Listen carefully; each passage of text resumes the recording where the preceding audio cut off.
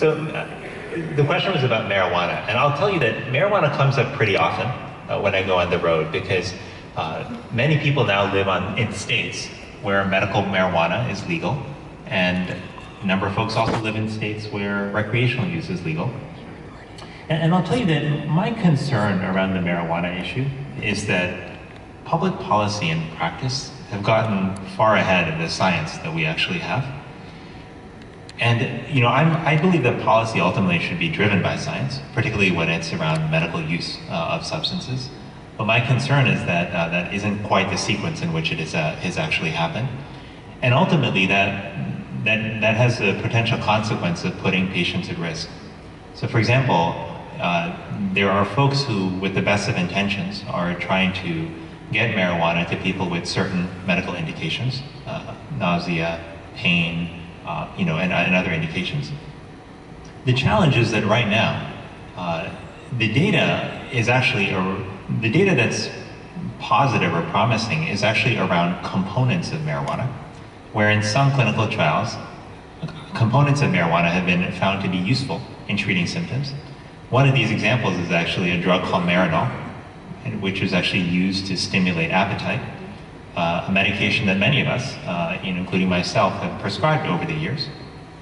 But that's very different from taking a purified, studied, uh, understood component of marijuana is very different from smoking marijuana and expecting to get the same medical benefit, where we don't know the full extent of what people are taking in, where we can't assess dose uh, and frequency uh, uh, you know, as readily, and we can't make safe recommendations to people. And so this is my concern, you know, about, about uh, marijuana. And the other thing is that we know that marijuana isn't benign, right? So this is a, this is a misconception that I find, particularly among uh, younger generations, is people think marijuana is not addictive. And they also think it doesn't really have any harmful health consequences. Uh, but we know that's actually not true. We know that marijuana is in fact addictive, and it's more addictive, in fact, when you begin it and smoke it continuously early in life. Uh, and we also know that marijuana is not benign, but it can have actually effects uh, on the, the brain and on the nervous system.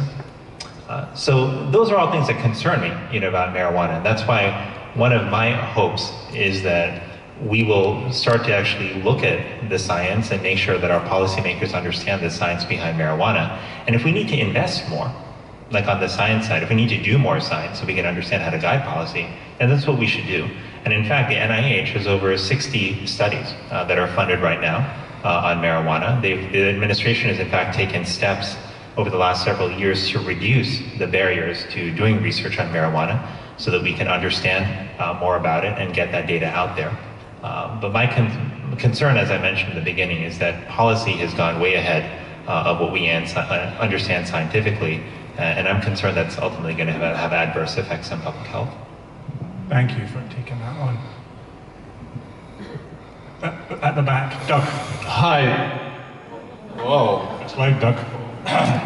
Hold this far away.